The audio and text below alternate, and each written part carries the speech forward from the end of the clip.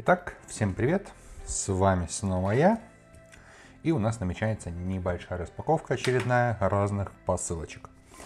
Как всегда, начнем мы от меньших к большим.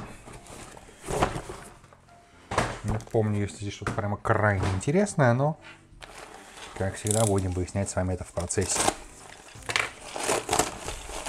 Как всегда, работаю ночами я над новыми видео.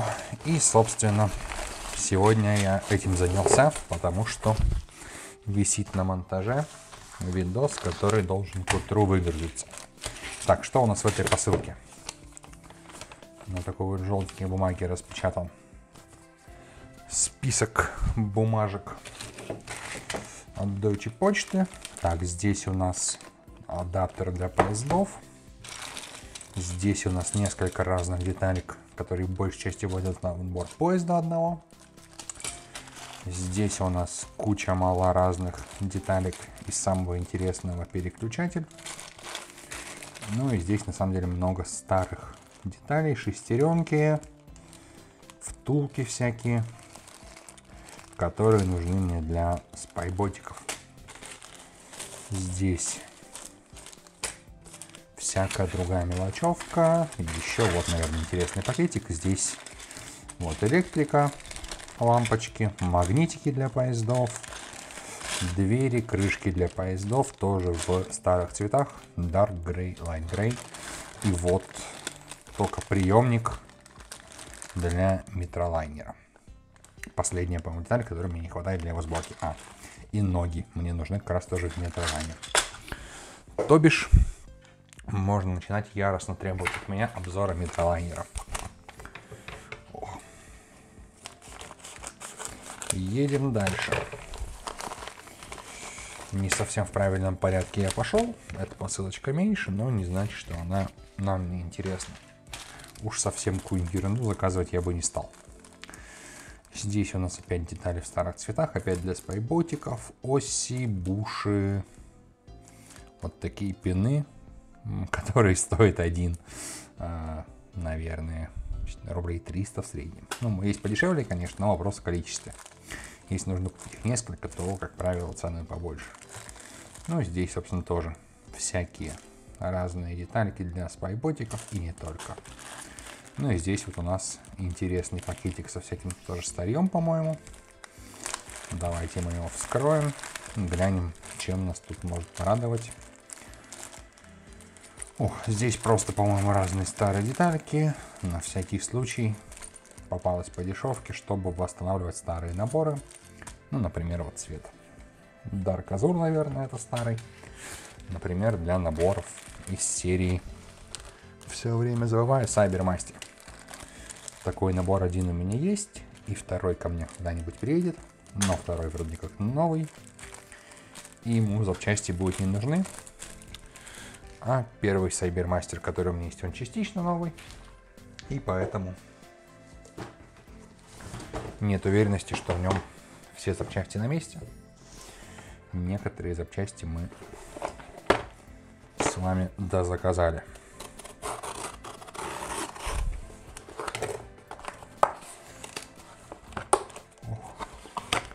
Что же здесь? Что же здесь?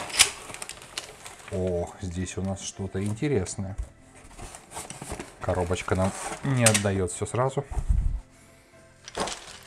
Так, ну, это желтые брики. Не знаю, куда они нужны в таком количестве были. Это плейтик для поездов. Здесь тоже просто кубики.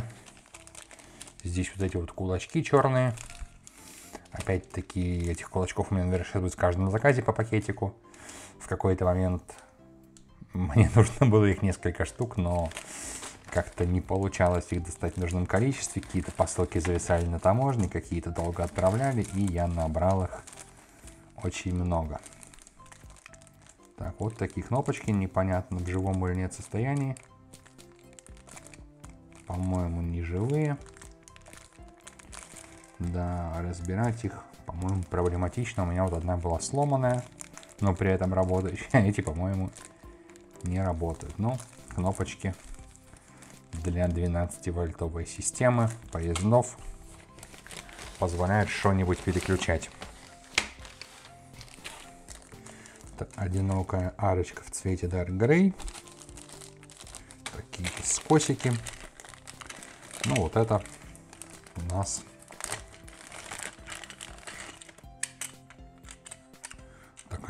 моторная тележка, еще, по-моему, 4,5 вольтовая система. Ну, либо 4,5 вольта, либо вообще без мотора.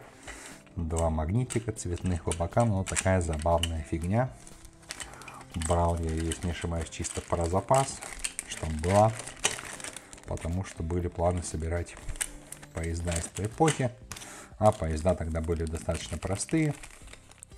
Соответственно, имея такую тележку и кубики, можно, наверное, собрать какой-нибудь вагон будет. Вот. И вот это у нас для, по-моему, 12-вольтового переезда. Такие вот штуковинки прикольные красивые. Даже не скажешь сходу, что лего детали. Разве что вот эти вот точки крепления выдают в них лего деталь. Ну, соответственно, нужны они для того, чтобы устанавливаться на переездах и красиво мигать лампочками. Такая вот интересная ЖД деталь. Если я не ошибаюсь, помню, будет только в одном наборе. Но, может быть, я ошибаюсь. Возможно, они были только в наборе электрифицированного полностью переезда. И вот такой у нас, обратите внимание, Lego Ziploc. Да, потрепанный, но очень интересный. Я такой вижу впервые. Надпись на русском языке, что говорит о том, что он выполнен, скорее всего, в этом тысячелетии даже. Далее каком Recycle, то есть, возможно, даже и десятилетие, а, 2021, да, даже в этом десятилетии точно все фарлет. Ну, ссылка на Recycle говорила о том, что это что-то уже новомодное. Да, пакетик у нас явно не отсюда. Но давайте посмотрим, что же у нас тут лежит. Во-первых, у нас лежит переезд крестовина, ну не переезд, перекрестие путей 9-вольтовая. Здорово. И вот у нас всего одна. Но такое ощущение, что чего-то не хватает в заказе. Буду сейчас проверять. Благо, все заснято. И этот заказ, по-моему, даже не вскрывал таможня. А, собственно, это у нас моторизованный 12-вольтовый, еще из синей эпохи переезд. То есть вот здесь у нас, я так понимаю, стоит мотор. Вот эта вот шишечка у нас даже не лего, ну, по-моему, не леговского какого стандарта, она больше похожа на какие-то соединения в пластиковых игрушках. Вот, собственно, там, видимо, стоит какой-то моторчик. О, здесь даже обычный винт, можно что-то открутить и достать. Хотя, возможно... Ладно. Вот. И, возможно, здесь что-то раньше было, здесь не хватает какой-то ниж нижнего закрывающего плейта, но не суть. Вероятно, вся вот эта фигня, да, судя по всему, она открывается. Ну что ж, давайте разнообразим наш разбор посылок. Залезем в кишки к этой штуковине.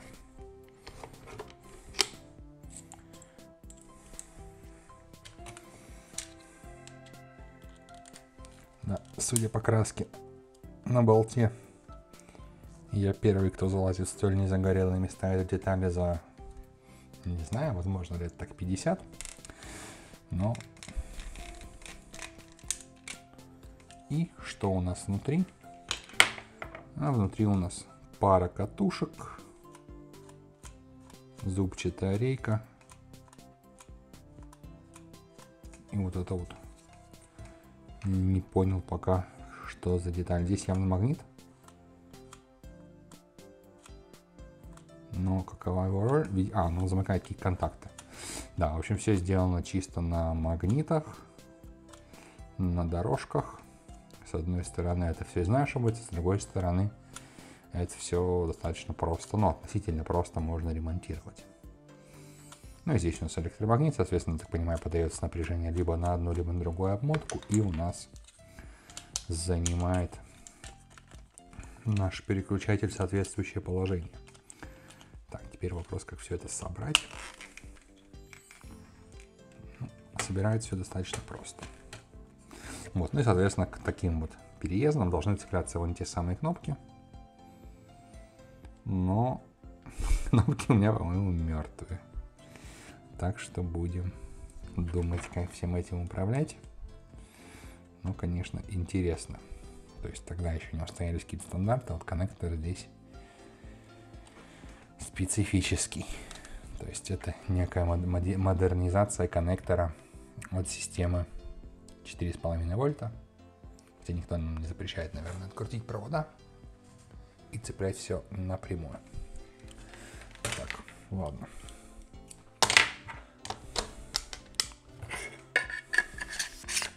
Возможно, я, конечно, обалдел, но, по-моему, в этом заказе должно быть сильно больше всяких штук. По крайней мере, мне казалось, что я заказывал такие стрелки парно, потому что в единичном смысле она, в, еди, в, еди, как, в единичном количестве она имеет мало смысла. Так, и у нас есть вот такая увесистая коробка и большая коробка, но легкая. Давайте возьмем большую, но легкую коробку. Увесистую ставим напоследок. Что явно самый жир в коробочке увесистый. А большие коробки бывают по приколу. И закончить одной большой детали, да, все у нас в воздухе.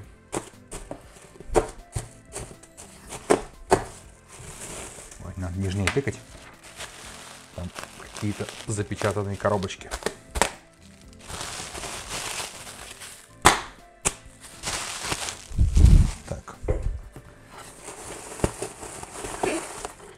Победил воздух.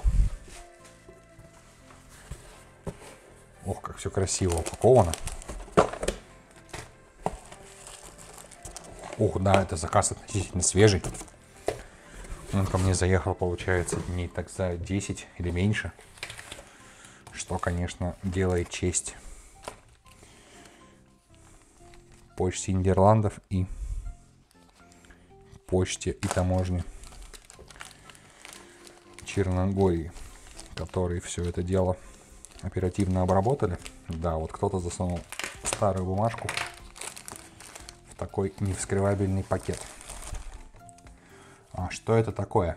Это достаточно интересная штука. Собственно, небольшой экскурс.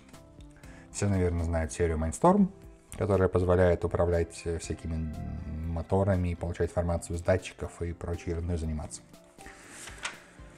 А, Ее предшественником была серия Дакта, которая появилась чуть раньше, в 90-х, наверное, в первой половине. Или во второй. Ну, в общем, она была основана на 9-вольтовой электрике и появилась чуть раньше, чем э, Mindstorm на несколько лет. Вот, и которая позволяла, условно говоря, с, ну, не условно говоря, с компьютера через компорт управлять э, блоком с какой-то периферией. Вот, фоточку блока может быть вставлен на экран. Да, но мало кто знает, что в 80-е у Lego тоже были эксперименты на эту тему. И, соответственно, набрекли, были некоторые наборы вот с такими блоками, с платами, которые вставлялись и со, и со слот-компьютеров.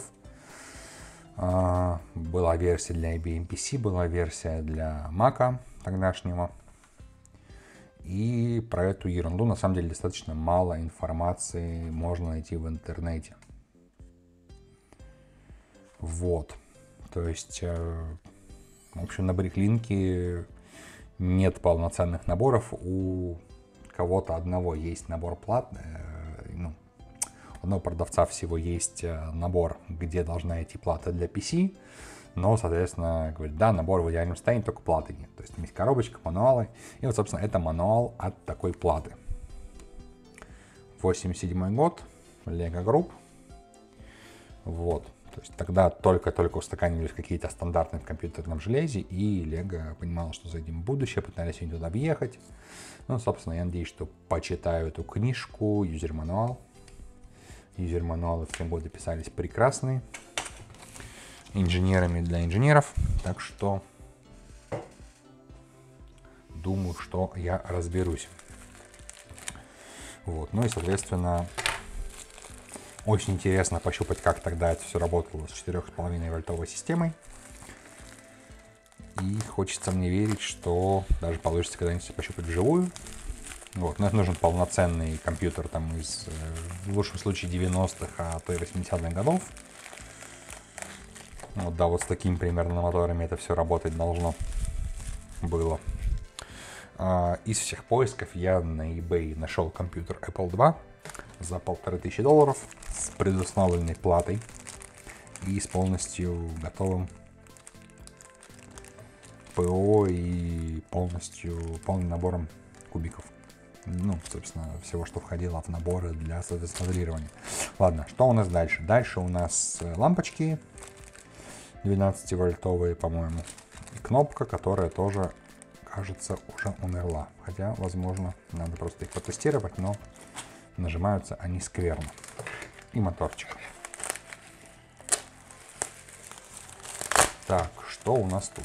Так, тут у нас, очевидно, стрелки, которые мы уже видели, которые в прошлых обзорах, которые не автоматизированы. Их даже пока можно не открывать.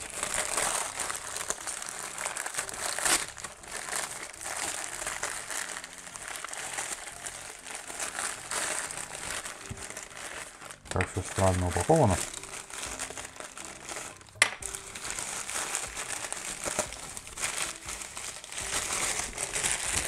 Так, надеюсь, там не было какого-нибудь секретного послания на бумаге.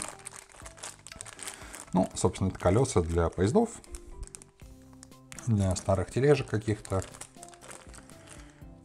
Можно их куда-то стыкать.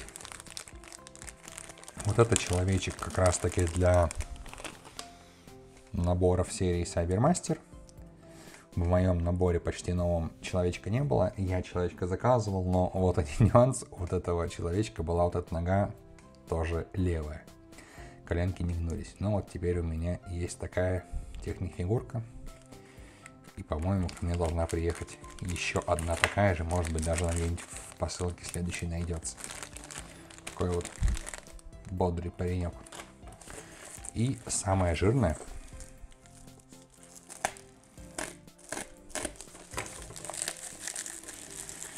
Есть у меня маленькая страсть.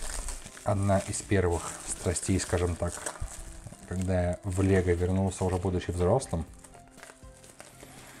А, в 90-е годы, как я рассказывал в видео, которое сейчас загружается на YouTube, в обзоре кораблика 41, ой, 4011. А, первым моим Лего набором была ракета из серии Space конца 90-х годов. 98 99 2000 Ну так вот, а, я начал в какой-то момент, кроме этой ракеты, ну ракету, конечно, я купил, какие-то еще наборы купил. В детстве я видел разворот в каталоге. Каталог не под рукой сейчас. И, соответственно, в каталоге а, были разные наборы. То есть у меня был набор, скажем так, средний. Типа там были наборы всяких баз, были совсем какие-то мелкие, там типа луноходы, спутники, что-то еще. Топливозаправщик был. Вот. А у меня была ракета, типа такой средний набор, там, со светомузыкой, ну так прикольно. Но хотелось как бы получить какой-то набор, чтобы было интереснее играть. Но ну, в целом просто все это выглядит завораживающе. Или у тебя одна ракета, или там у тебя центр подготовки космонавтов, там какой-нибудь опять тот же заправщик, там спутник, там еще что-то, самолет для а, обучения. И, собственно, начал я скупать э, все строительство каталога. И в какой-то момент на Бриклинке я обнаружил, что было что-то еще. Скажем так, не только в каталогах, ну, то, чего не было в каталогах, так понимаю, были какие-то промо-наборы, а, либо просто каталоги не тех версий я смотрел. Ну и, собственно, начал я скупать и наборы, которых в каталоге не было, стремясь собирать всю серию. Ну так вот, это один из тех мини-наборов. Сейчас снова мода на мини-наборы вернулась. Ну и, соответственно, вот это такой некий стенд испытательный с ракетой. Очень, конечно, круто выглядит, да, и это новый набор. То есть новый набор где-то там из конца 90-х, то есть набору так лет 25, и можно вот сейчас сюда нажать. Он стоил недорого относительно, но, конечно, прям эх, хочется пробегает дрожь по телу вот сюда давить. Но давить мы, конечно, сюда пока не будем. Поставим его в красный уголок, чтобы никто не уволок. И когда я буду делать обзор на, наверное, всю серию Космос тогдашнего, мы его вскроем и соберем.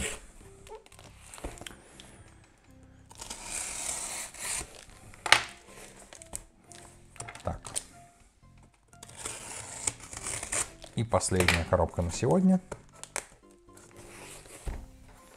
Ну, не расстраивайтесь, те, кто любит распаковки. У меня еще один ролик в запасе. И на таможне собираются новые коробки. Так что я думаю, что уже на ближайших пару месяцев распаковок хватит. А те, кто их не любит, ну, простите, начинайте их любить. Потому что для меня это самый простой способ генерировать контент. Нифига не попадая в камеры, наверное. Сегодня пробовал чуть по-другому поставить камеры. В надежде, что вам будет лучше видно, но не уверен, что эксперимент удачный.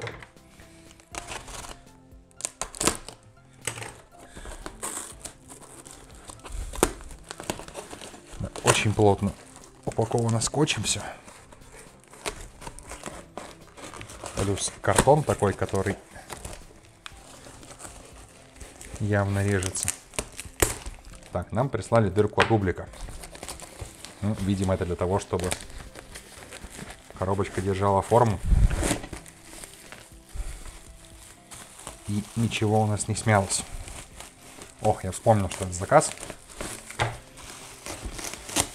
Это заказ, за который хотел обязательно начать отзыв продавцу, потому что все делалось ради вот этого, а продавец заказ не отправлял, ну, очень долго. Больше месяца, и, судя по отзывам, я не один такой. В моем случае, вроде все достал. В моем случае продавец продал с тем, что у него не было одной детали, и он ее заказывал в другом магазине, чтобы мне отправить. Что мешало ему просто зарефанить мне за эту деталь или предложить выбрать что-то другое, я не понимаю. Так, ну, во-первых,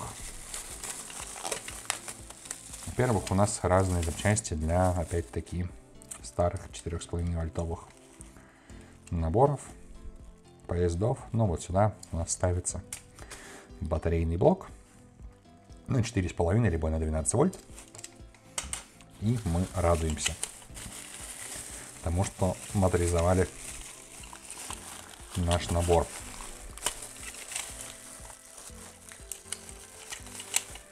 Здесь у нас... Я задумался, почему без колес, потом понял, что колеса крепятся к мотору. Здесь у нас, соответственно, какое-то следующее. Ага, по цвету, как полюса. Забавно. Просто для вагонов история. Так, здесь, вот тогда я еще... Это было настолько давно заказ, что у меня тогда еще не было набора Cybermaster, и я заказывал вот эти штуки в неведении, просто посмотреть, что это у нас и зачем оно.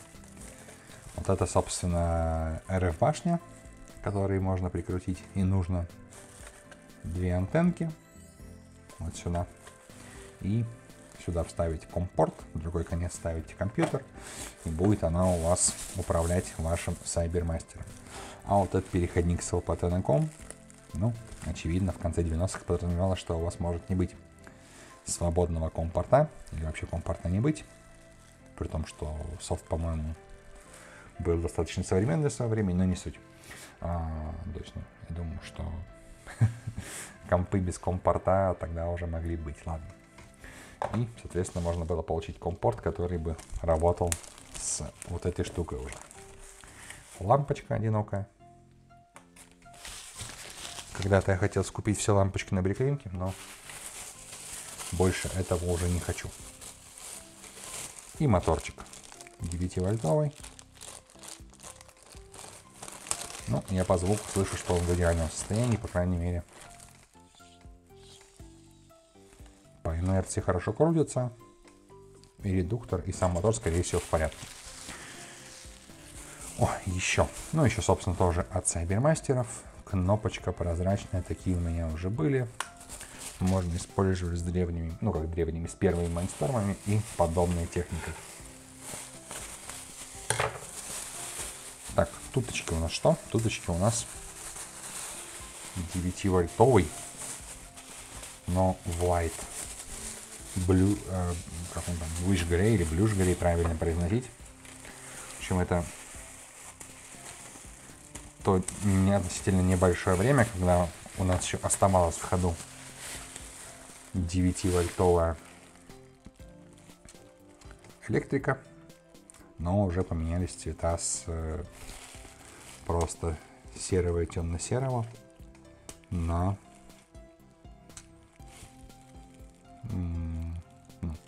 и сине-серый и ну, видно, что какие-то брызги, детальки, но по рельсам как бы, как будто бы она просто хранилась и почти не использовалась. Не видно какого-то значительного износа. Интересно. Тут видна дырка. Интересно, это какой-то массовый дефект или у меня супер уникальный детали, можно продать ее за миллион долларов. Ладно. Завязываем мечтать. И сегодня у нас книжный день. В прошлой посылке была книжка. И здесь у нас тоже книжка. Еще и в твердом переплете. Вау. Это выглядит круто. Собственно, ради этой книги заказ и делался. Все остальное докладывалось в корзину по приколу. Так, я надеюсь, всем хорошо все видно. Ох. Снова дрожь пробежала по моему телу. Блин, вот это реально в очень офигенном качестве, очень офигенная графика. Блин, она, она, она блин, жал, жалко камера это не перед, она реально пахнет типографией, смотрите, ниточками сшита, прошита. Она просто обалденная. Это книга по поездам, блин, ну, сколько она стоила, по-моему, десятка три евро, что около трех тысяч рублей, по-моему, с копейками. Да, конечно, вот здесь вот у нас даже это не порвано, это просто здесь, ну, немножко разошлись от времени эти листочки, ну, блин, надо нежнее с ней быть. Она в идеальном, ну, относительно своих лет. То есть эта книга, если я не ошибаюсь, ну, годов так. Ну, это, это раньше, чем 80-е. Давайте поищем напоследок какую-нибудь типографскую пометочку.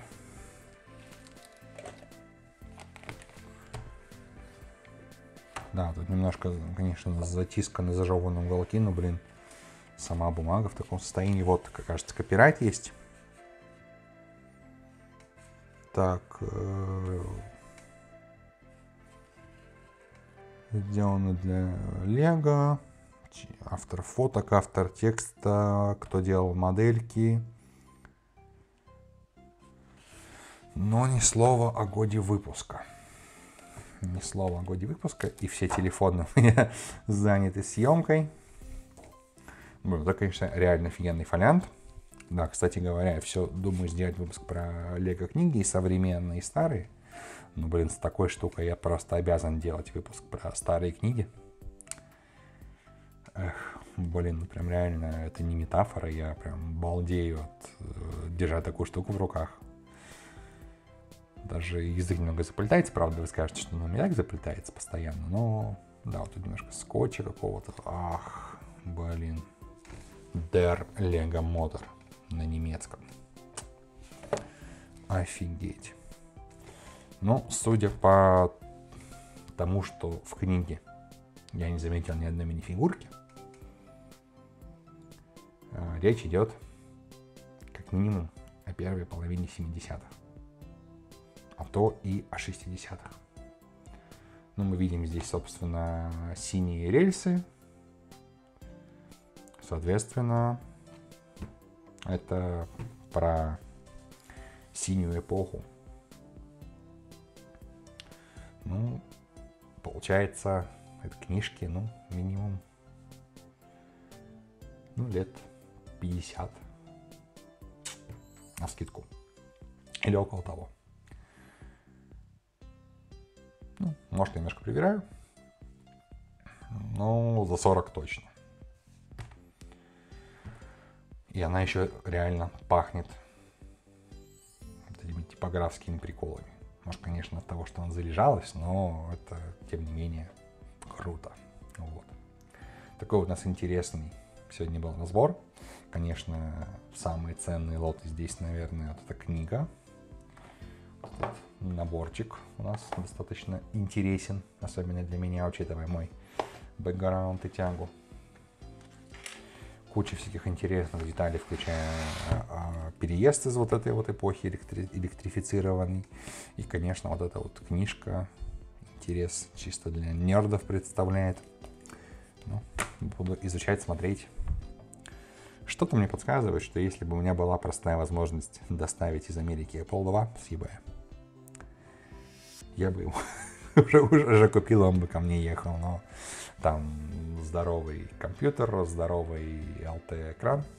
Да, ладно, побегу все это фототь и побегу проверять, в каком состоянии у меня там экспорт ролика, и пойду спать, возможно. Всем спасибо, всем пока. Вроде бы все камеры все пишут, батарейки почти сели, но я успел.